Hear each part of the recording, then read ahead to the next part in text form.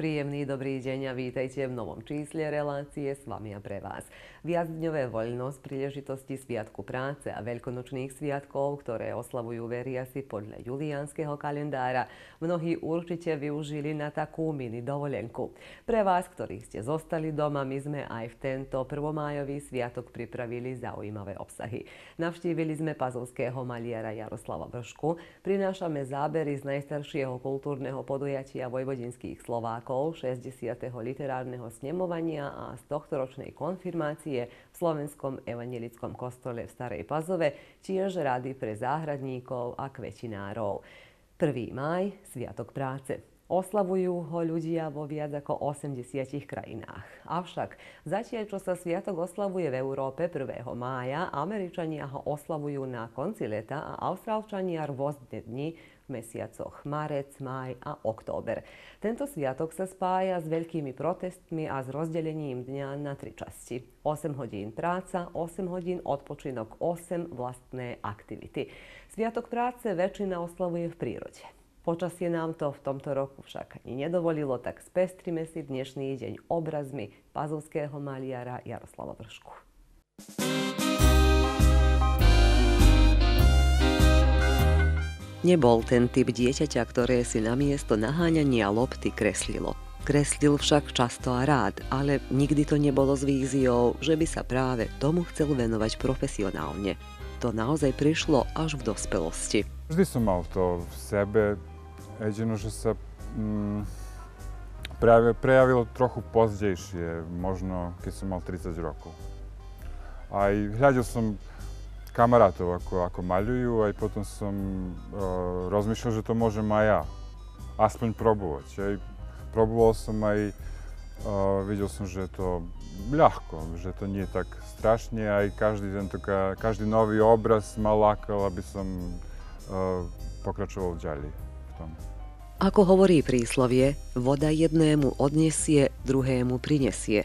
Tomuto umelcovi prináša väčšinu inšpiráciu voda. Ako, ako vidite, všetko okolo tuto nás je voľaka, voľaký druh vode. Máme vodu v sebe, rastliny by nemohli bez vode, všetko je tuto plné vode. Padal dažď, chvála Bohu, plné vode, aj preto slnko aj voda dávajú život. Zatiaľ maluje to, čo si najprv odfotí. Toto som fotografoval. Uh, jedné ráno v Čortanovcach, nemohol som spať, odišiel som vlakom, asi to bolo okolo 5-6 ráno, ešte svitalo. Aj to je, znači, to je ten moment voľa kde v decembri, alebo tak možno novembri, decembri, kde svita, hmla sa váľa tentoká riekou. Ešte sa nevi, nevidí ani tá druhá, tá druhé, druhé pobrežie. Aj ten mier rijeky, svitanje, ako, ako nádej do nového, nového svitanja, bez ohľadu, že je všetko také ťažké, sivé, bez uh, týchto um, stromy čuši, a všetko je také tiché, ale znovu všetko naraz svita. Svita nove rano. Najbližšie sú mu olejom alby. Najviac eh, robím s olejom. Najprv sem robil eh, s týmto pastelovým a olejovým pastelom. To je kombinácia medzi ehm, znači, kresbou aj olejom. Môže sa veľmi pekne kresliť, i potom ešte... s prstami robiť, aj, tak to je tiež zaujímavé ali potom sam začal s akrilom, a i kombinacijom akrila i oljeja, i takže teraz robim tak, kombinujem najprv akril, pretože sa on rýchlo suší, všetko sa, všetko sa može postaviť a i potom sa zakončuje s olejom.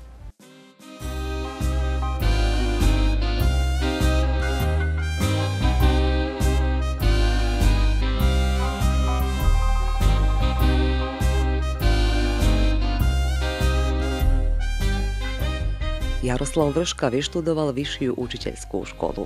hoci sa tej práci teraz nevenuje. Raz učiteľ, vždy učiteľ. Takže ja sa ešte stále cítim učiteľom. Lenže nerobím tú robotu, ale v sebe, v duši som aj, aj ďalej učiteľ. Lenže teraz ešte stále učím, učím ja, aby som mohol potom byť naozaj dobrý učiteľ. Znamená, tentokrát, uh, tieto, tento čas, ktorý som uh, strávil uh, rob, rob, robote oľakej druhej, ja som aj ďalej tentokrát sa usiloval tentokrát učiť, aby som mohol potom pozdejšie voľakoho druhého voľačo naučiť. Okrem maliarstva bavia ho a venuje sa aj mnohým iným veciam. Tento pe period som nebol voľačo zvláštne aktívny, čo sa týka maliarstva. Robil som nejaké druhé roboty. Teraz ma niečo druhé zaujíma. Zaujíma ma teraz yoga. Takže trochu, trochu viac tentokrát sa, som sa ako usmeril v tom smere, ale aj ďalej maľujem, kreslím, koľko, koľko môžem. Toto robím pre jedného priateľa. Stále za niečím pátra. Vznikajú obrazy tak, že mám potrebu niečo nakresliť, e, niečo, čo, čo mám vnútri v sebe, niečo, čo, e, čo, čo hľadám. My sme my všetci voľa čo hľadáme v živote, stále hľadáme, hľadáme niečo, hľadáme seba, hľadáme, aby sme sa vyjadrili na, na voľaký spôsob, aby sme okrašili tento svet na, nami, aby sme um, voľa čo sebou povedali, povedali o, o sebe, o, aj aby sme na voľaký spôsob uh, spoločnosti, v ktorej žijeme, aby sme pod, podali to najkrajšie z nás. Vyskúšal sa aj v divadle. Každé umenie e, má niečo spoločné. Spoločné, aby človek e, mm, vyjadril seba. Môže na, na, na rôzne spôsoby. My sme všetci umelci. Myslím, každý človek, hoci čím da sa baví, môže to doviesť do, do toho nivoa umenia. Takže všetci máme v sebe možnosť, aby sme dali maximum. Má prekrásnu záhradu, ktorú sám upravuje. Všetky tieto rastliny, čo vidíte, to som sám posadil. Znamená, Vijem charakteristiki každe iz njih, vijem ako se ten toka Ako inače ima Znamena, dosta sam ten toka čitala i literaturu, a i e, rozne e, tije toka emisije hljađala i každom pripadje veljmi ma rad to, mislim, voljače čo, čo rastie, e, a i aj i tento každá rastlina je prekrásna, myslím. Či ju len tentokrát používali ako aby sme ju hľadeli, alebo aby sme ju používali v kuchyni. Myslím, každé, každé je prekrásne. A vyzná sa aj v kuchyni, v čo sme sa aj presvedčili, keď nás privítal s horúcimi rožkami. Väčšinu tento e, času, myslím, som sám. Viac menej, viac menej. Myslím, nie teraz, že som sám. Myslím, mám partnera i veľmi mi pomáha na, na rôzne spôsoby. Ale tentokrát často som od toho bol sám, aj potom myslíš, myslí človek variť, vieš, myslí sa naučiť variť, aj, ale aj to volím v každom prípade, takže o, no vyznám sa do toho. Keďže z umenia nemožno vyžiť, na život si privyrába ako maliar natierač. Toto robim najviac z lásky. Trošku je to tento možnosť, aby sa aj zarobilo, ale väčšinu času tento mi ide na to, aby som... Robím ako maljer. Idem po domah, kamaraćim sa s ľuďma, všetko sam, všakovo sam vidio u živoće už. Ali u každom pripadje, ljudje sa dobri. Ljudje sa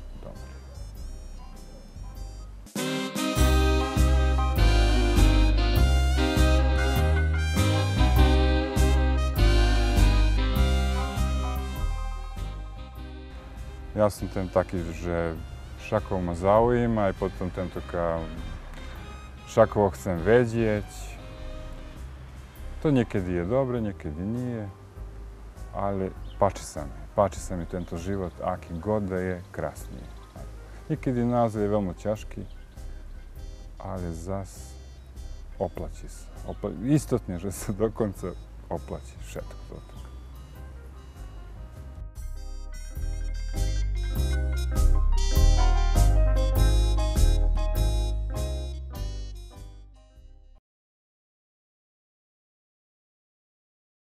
Najstaršie kultúrne podujatie vojvodinských Slovákov má 60 rokov.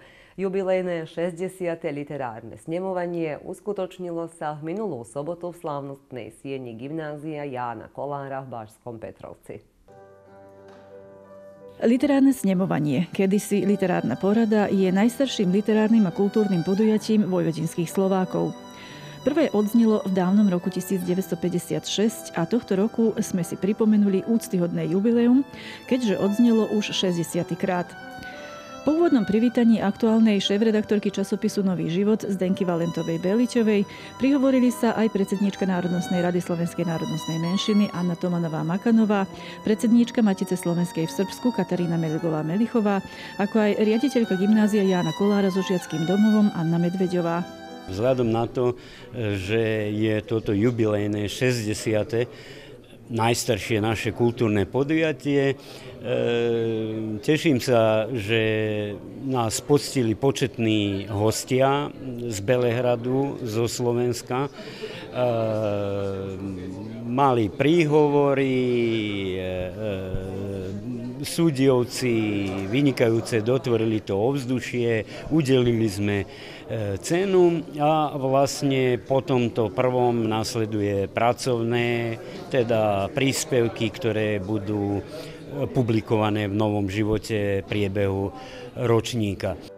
Nádherné zvuky Šubertovej skladby Ave Maria v podaní renomovaných hudobníkov súdiovcov spríjemnili priebeh jubilejného 60. literárneho snemovania, na ktorom sa okrem úctyhodného jubilea samotného snemovania pozornosť venovala aj ďalším trom životným jubileám našich popredných spisovateľov a univerzitných pracovníkov. Pripomenuli sa 90 spisovateľa a básnika Jána Labáta, 70 univerzitného profesora Jozefa Valihoru, ako aj 60 univerzitného profesora a spisovateľa pre deti a dospelých Zoroslava Speváka. Snemovanie bolo rozdelené do dvoch častí. Mali sme významných hostí, ktorí sa doteraz nezúčastňovali tohto nášho podujatia, ale keďže máme také e, významné jubileum, tak sme si ich zavolali. Ide predovšetkým o e, predsedu Matice Srbskej, e, Dragana Stániča, o riaditeľa knižnice Matice Srbskej Selimira Radulovića, ale taktiež aj o početnú delegáciu z Belehradu z Združenia spisovateľov Srbska. V rámci prvej slávnostnej časti po príhovore vzácných hostí z krajiny a zo zahraničia udelili aj cenu Nového života za rok 2015. Komisiu, ktorá pracovala pri udelení ceny, tvorili Miroslav Demák, Anna Vršková a predsedníčka Jasna Uhláriková, ktorá aj prečítala zôvodnenie komisie. Komisia sa rozhodla cenu udeliť docentovi Michalovi Babiakovi za dve eseje uverejnené v minulom roku v Novom živote. Každá cena je tak e, vec, ktorá má e, svoje dve strany. Na jednej strane e, každého, kto dostane ocenenie, e, to poteší, ale na strane druhej to prináša aj isté možno menej príjemné veci, akými sú pocit záväzku, že človek musí aj ďalej zotrvať, kvalitne robiť, aby sa nezačalo hovoriť, že je to len nejaká výnimka alebo náhoda.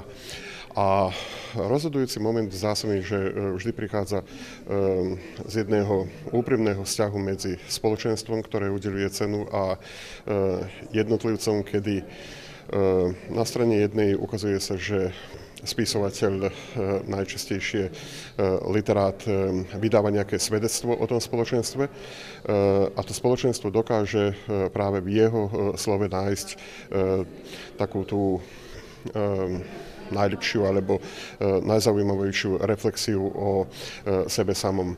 Tohtoročného jubilejného snemovania sa zúčastnili aj hostia, tak z našej krajiny, ako aj zo zahraničia.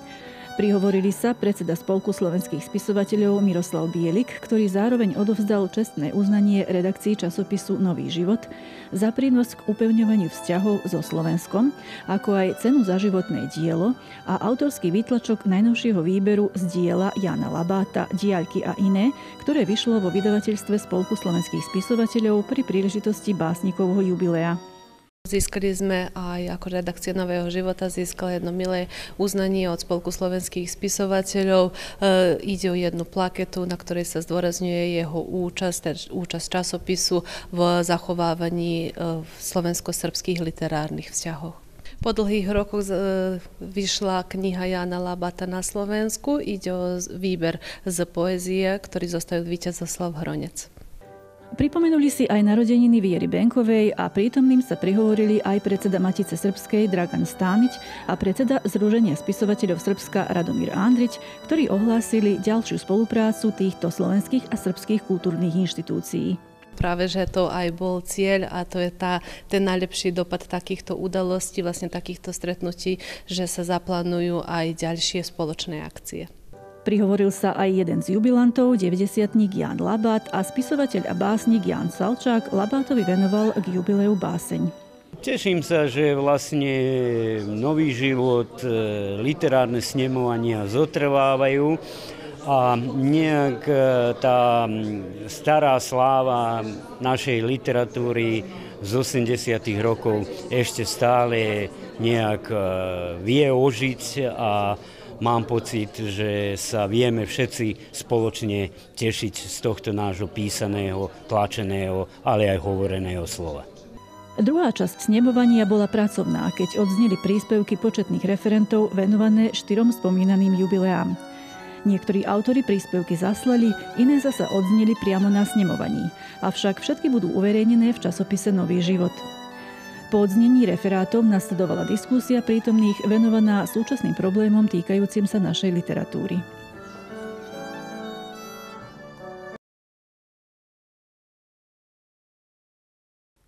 mája si od roka 1999 pripomíname Medzinárodný deň hasičov.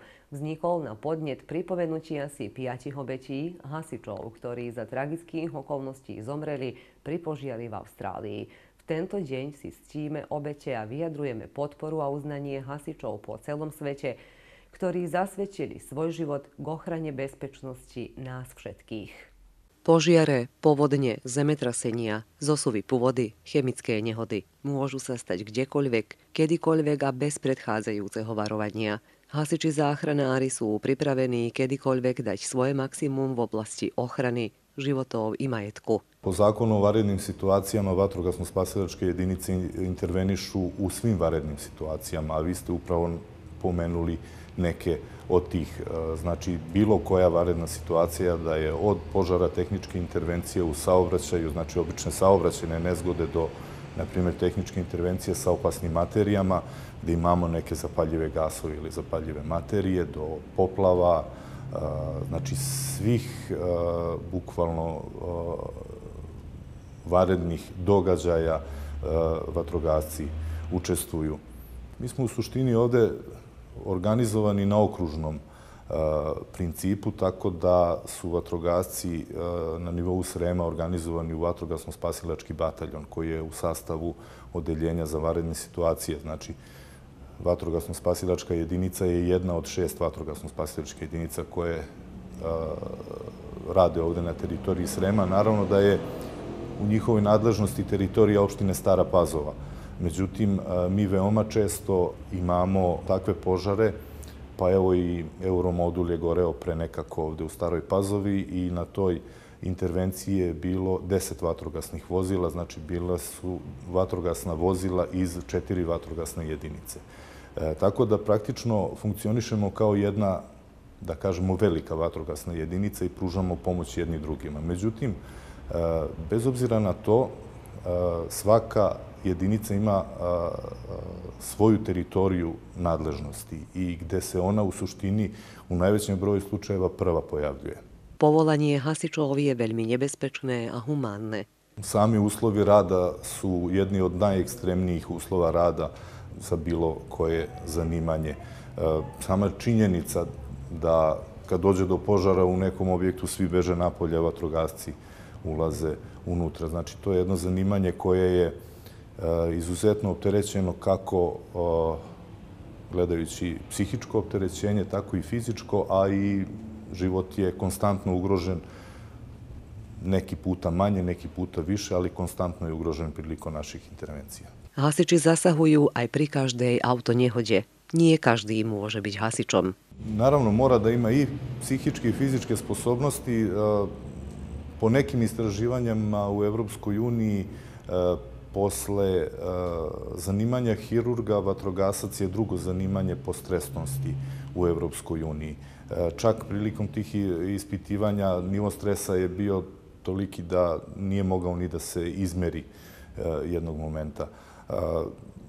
Mi stalno radimo na tome i ovaj, kroz e, obuku e, ljudi praktično smanjujemo taj stres. Što su ljudi obučeniji, fizički pripremljeniji, oni se osjećaju da su sposobni da odrade taj posao, imaju znanja koja su potrebna i e, samim tim i stres prilikom intervencija je dosta niži i da kažem u nekim prihvatljivim granicama. Na saobraćenoj nezgodi susrećete se sa prizorima koji su izuzetno mučni, e, požari su izuzetno rizični. E, veoma je teško objasniti ljudima koji nisu iz ovog, iz ovog, iz ovog posla kako je u požaru kad uđete u neki objekat koji gori i koji je pun dima.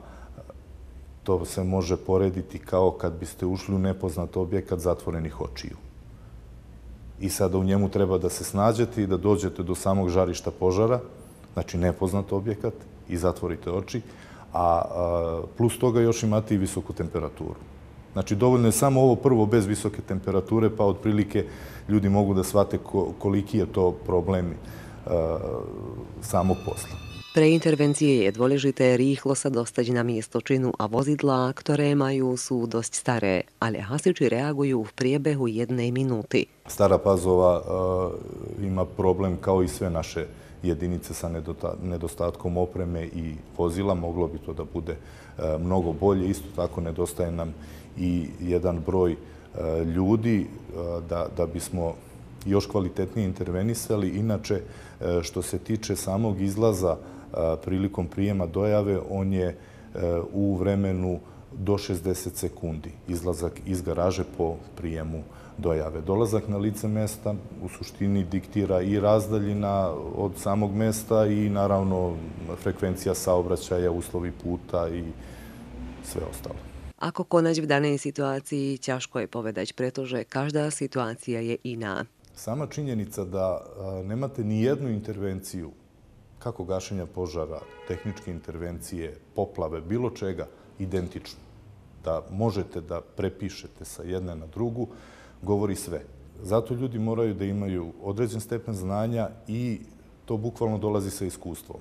Što više iskustva, ljudi lakše prave procene i prave manje greške prilikom intervenisanja na bilo kojoj intervenciji. Z hasičske jednotky v Starej Pazove zatiaľ našťastie v teréne nikto nije prišijelo život. Hvala Bogu, ne. E, mi moramo da vodimo strogo računa o tome i stalno našim vatrogascima govorimo u, u sklopu naše obuke. E, najveća greška za nekog spasioca je ako dozvoli e, sebi da kažemo, takav lukcuz da svoj život i sebe dovede u opasnost.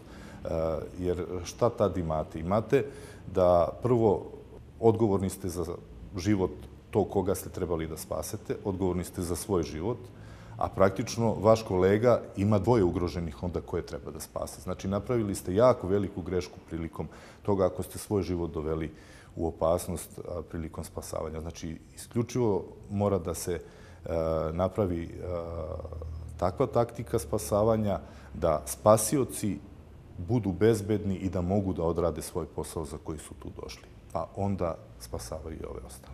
Číslo 193 netreba zneužívať. Volajte iba v ozajstnej núdzi. Naravno, ima lažnih dojava. Mnogi zloupotrebljavaju e, naš telefon 193.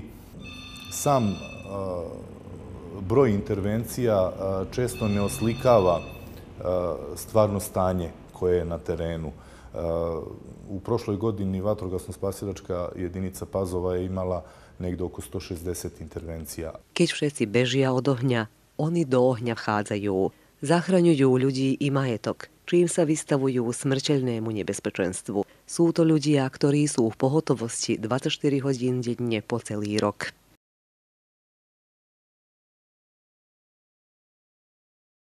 Jablko je už postáročia liekom skoro na všetko.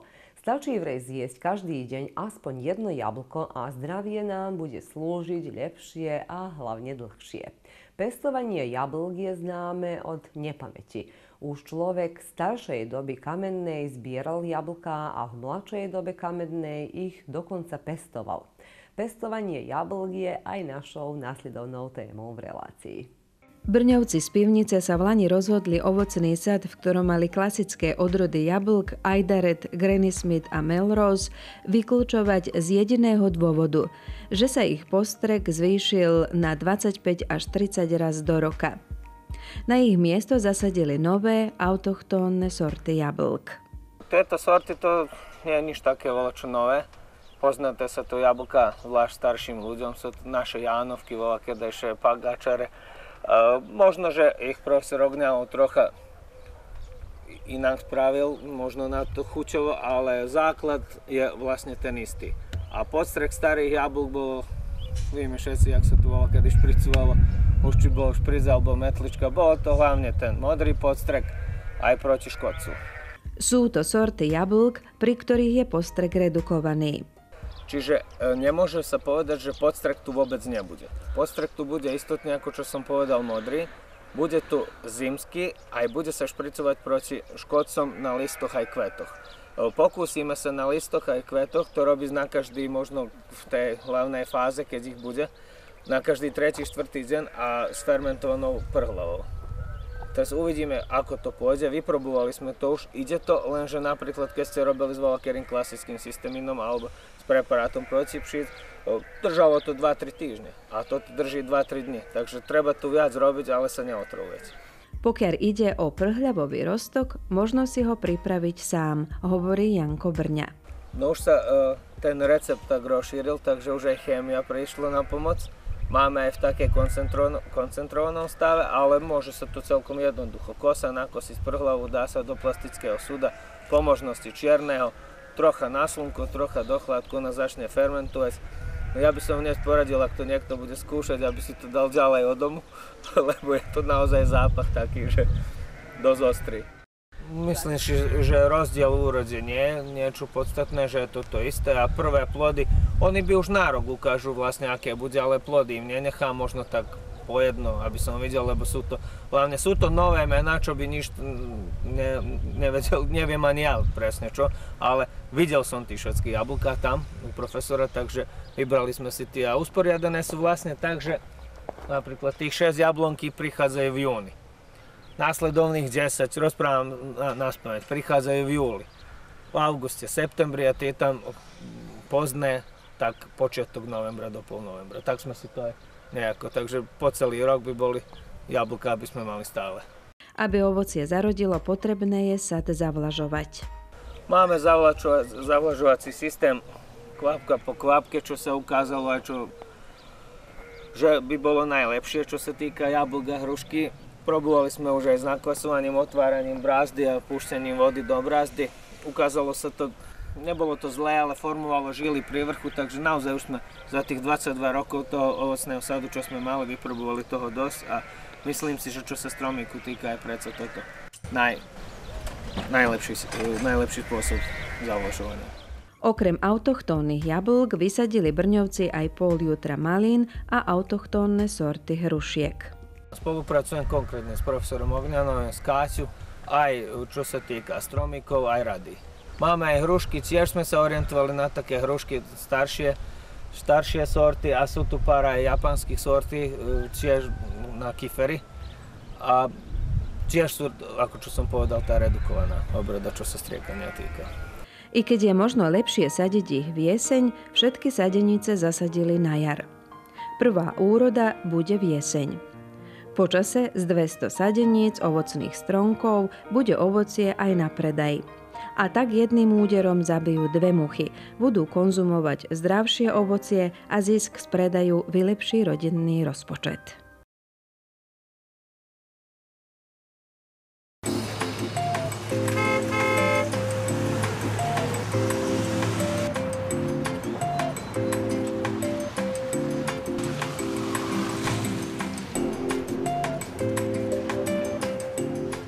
Okrem pravidelných akcií, osobitné zľavy k sviatkom a k meninám. Medius, stredisko dobrého nákupu.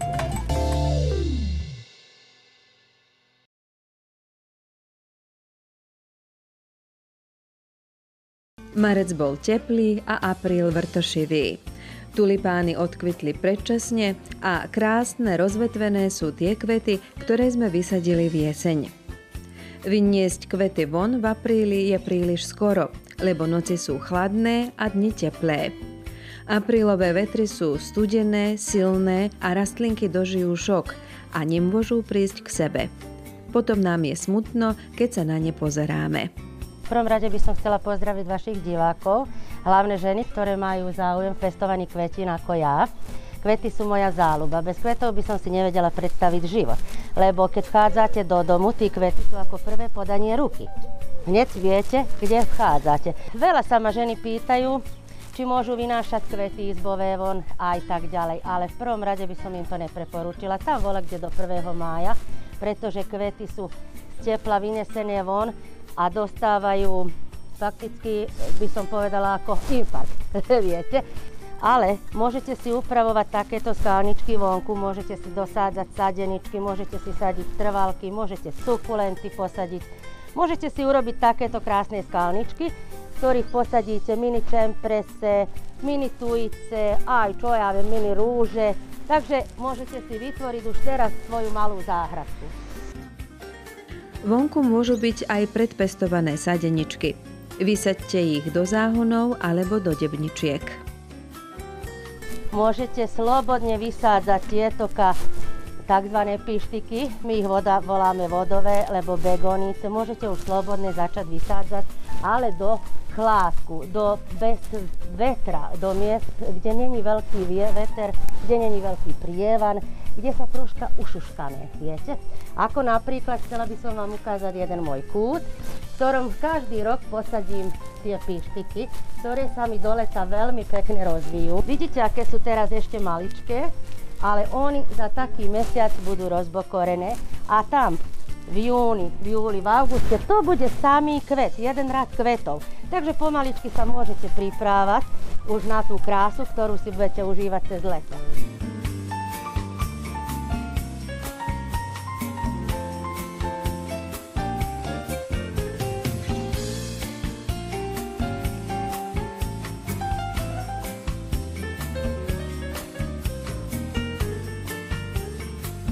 Dodala by som ohľadom týchto petúní. Ženy sa ich veľmi boja. Hovoria, nemôžem to održať, chytahu, mušky, lepkavka, aj čo ja viem čo. Netreba sa bať. Petúnia chce veľa vody, chce pôd na slnko, pôd na chládek. Nechce byť celý deň pražená na slnku ako muškát. Muškát sa môže pražiť celý deň. On chce priame svetlo, priame slnko aj vodu. Ale bakopa chce isto veľa vody, chce slnko napríklad, petúnia nie ale môžete muškáty vysádzať, ale treba ich na slnko, treba polievať aj ráno, aj večer a treba každý deň prichrániť muškát. Muškát chce slnko, slnko, slnko, slnko, aj vodu, aj prichranu. Begónia chce takisto slnko, čím má viacej slnka, tým je krajšia. Pištika nechce slnko absolútne, pištika chce len chládok a nechcú sa polievať s hadicou, so šlaufom našim tzv. z vrchu. Chcú, aby sa šlauf položil dole ku korenu, aby sa navlhčili. Nijako z vrchu, lebo keď ich polejete z vrchu, opadajú listy a zostanú len koštrnky. Takže na to ženy pozor. Tieto kvety sa chcú zalievať len od dole ku korenu, nijako z vrchu. Sukulenty sú vhodné do skalničiek. Pôsobia veľmi dekoratívne. Okrasná prhľava chce slnko, čím je slnko silnejšie, tým je väčšia zfarbenosť.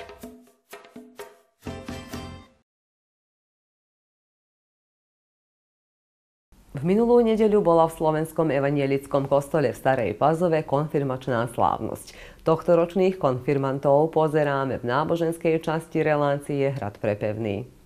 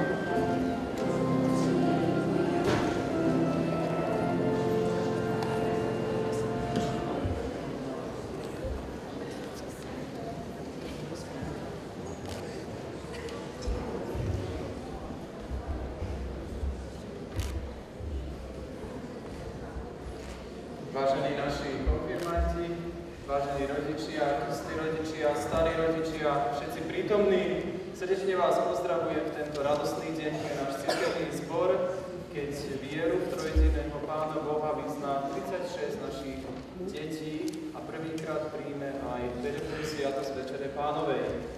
Prosíme vás, povzbudzte ich v modlitbách, aby naozaj tento deň bol pre nich takým osobným stretnutím s našim dobrým rámci týchto služieb Božích bude prislúžená Večera Pánova nie jeden pre našich konfirmandov, ale pre všetkých vás tu prítomných.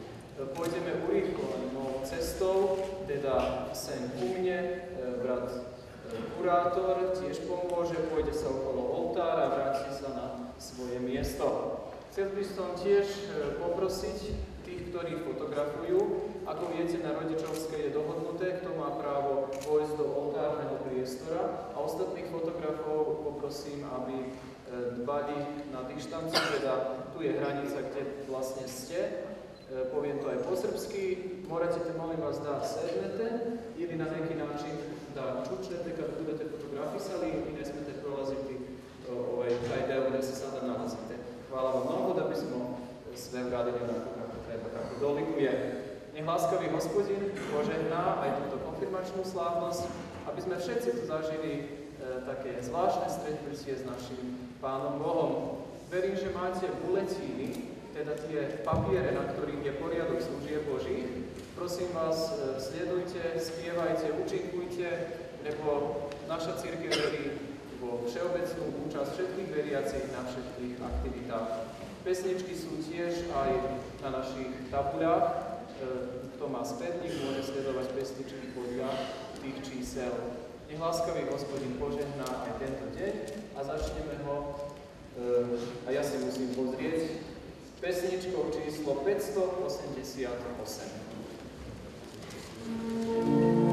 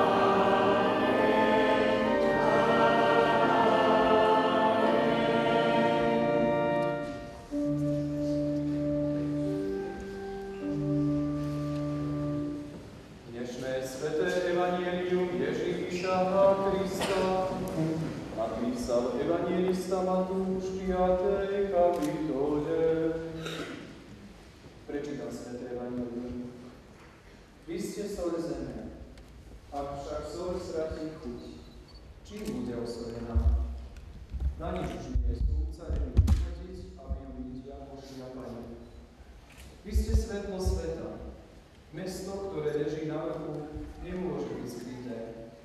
Ani sviecu nezažíhajú a nestavajú pod nádobu, ale na svietnik a svieti všetkým v dome. Tak svieť vaše svetlo pred ľuďmi, aby videli vaše dobré skutky a velebili vášho Otca, ktorý je v nebesiach.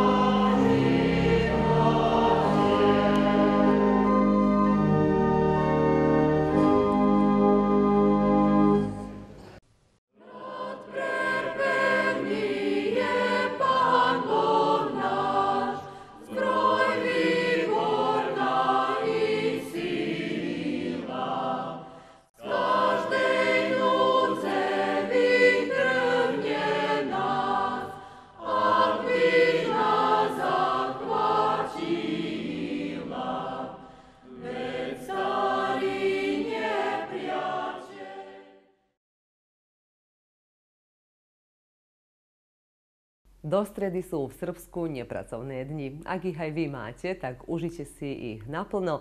Ak pracujete, tak úspešná a zdarná práca. Veriacim k sviatku, k Veľkej noci gratulujeme a všetkých vás pozývame, aby ste boli s nami aj na budúcu nedeľu už od 13. Dovtedy dovidenia a všetko dobré.